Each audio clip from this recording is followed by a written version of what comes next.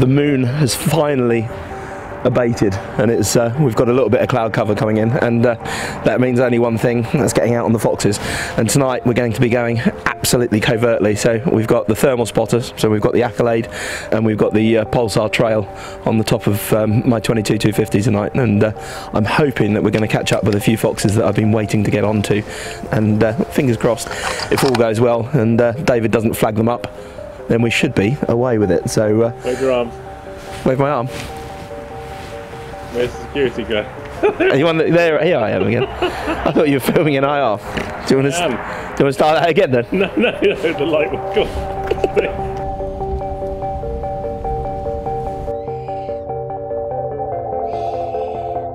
Okay, so what we're going to do is we've got the, a nice little wood line at the bottom here. We're on some sheep fields, and I know there's a few foxes in here, and I know one of them is very lamp shy, and it's not given us a chance before when we've had the lamp on it.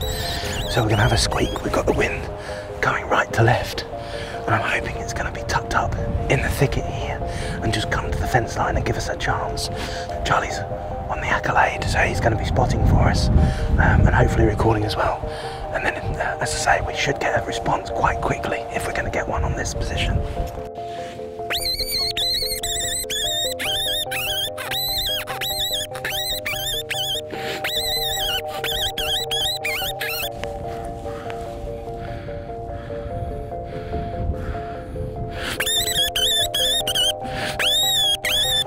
Well, that was really interesting. We had a fox come in from behind first, and we just turned around to have a look at it. And as the IR from David's camera just picked up on it, that turned tail and disappeared.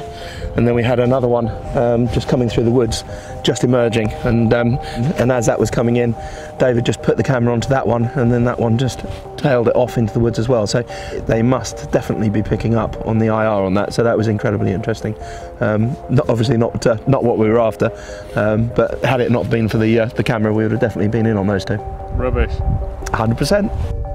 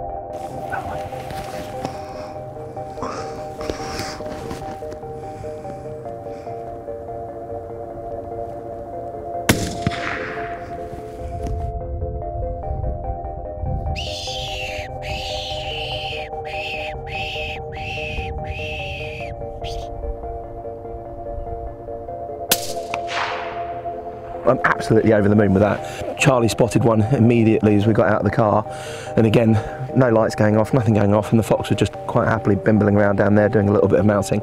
And bearing in mind that we're just coming into November, so these are certainly not young foxes. Uh, so we shot that one, and then Charlie scanned left, and there was another fox coming in from the left. We shot that one, and I thought we'd ramp up, up a little bit, and um, we changed callers, started calling, and another fox popped out of the woods just down there, came out. We got the shot on that one, and then I kept calling because I, I know there has been a real tricky old dog that comes in from the horse fields over there. But he, what he does, he normally just tends to pop his head over, and as soon as the, the lamp or whatever else goes on him, then he's just away down the hill and, and back off into his territory. Charlie just picked up his heat- signature of his head, just peering round to the side of the hill, and he just came in. So I had a, a fantastic backstop for him, um, and gave us a, a lovely little shot just there. So four foxes in about 10 minutes, um, just with the calling. And again, there's no way we would have got those unless we were using thermal. Is it cricket? It's really, really not cricket. It's just devastatingly effective. And again, it really doesn't seem fair. So uh, yeah, it's um, as I say, a very, very effective method. But um, you could certainly um, reduce your fox population um, a lot more rapidly than uh, any other means I've ever tried. so we've ended up with um, three dogs and a vixen there. The vixen, I would say, is probably coming into heat, so that's why we've got the, the three dogs all hanging around in the same field. These fields especially need to be uh, controlled quite heavily because this is where a lot of the lambing will be going on um, early spring. So, yeah, we, it is uh, it is quite paramount that we uh, we keep uh, keep heavily on top of them here.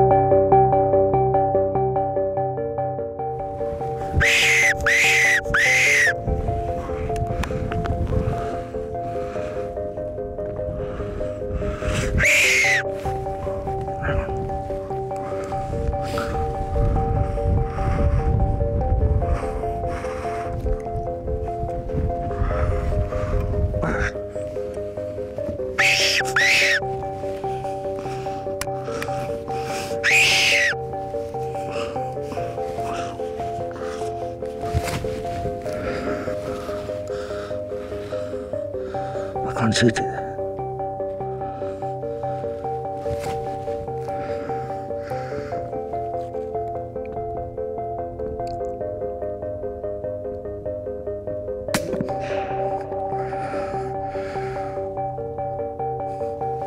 So again, that worked superbly. We had um, one fox that we saw originally just up on the top of the hill, and that then came came down, and then it came all the way around us trying to get our wind, and was just trying to come round on the top of the hill. I had to just wait for it to get into a little spot where I had a backstop. Got that one, and then as I shot that one, another one had just started coming directly in line with it from the woods behind, and it came up. The the the, um, the shot stopped it, and it was sitting there, and then it just snuck its way up um, and we're just again just trying to come round. It wasn't overly keen on coming in, so we walked away from the truck, came up and round to try and come back down on it, and it had tucked itself in. We just found it on the thermal, tucked into the bushes here.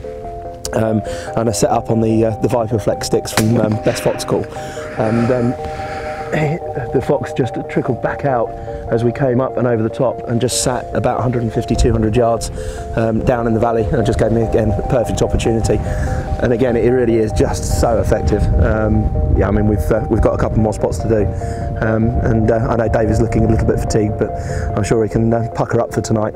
And uh, we shall crack on and um, see if we can get a few more. But yeah no, another two in.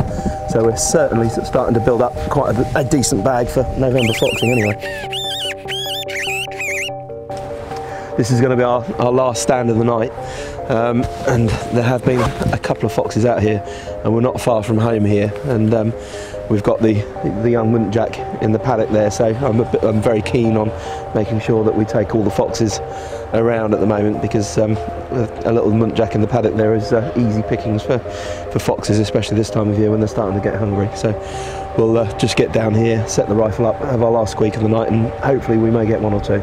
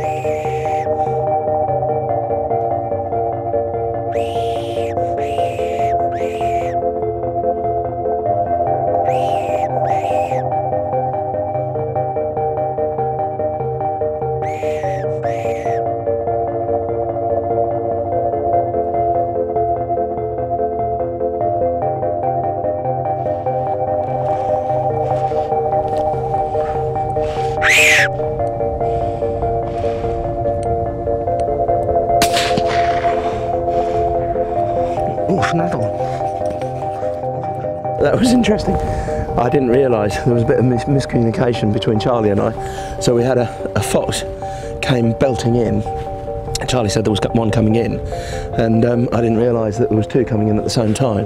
And I was tracking one that came right from the bottom, came jumping across the fence, and then worked his way up here. But unbeknownst to me, there was already one that had made its way up and was up on our left. It was only about 30 or 40 yards away. So Charlie was recording that one, um, and I was recording the other one through the uh, the scope. And I think David was unfortunately on the one that I didn't shoot. So um, I shot that one, um, the one that was slightly further back.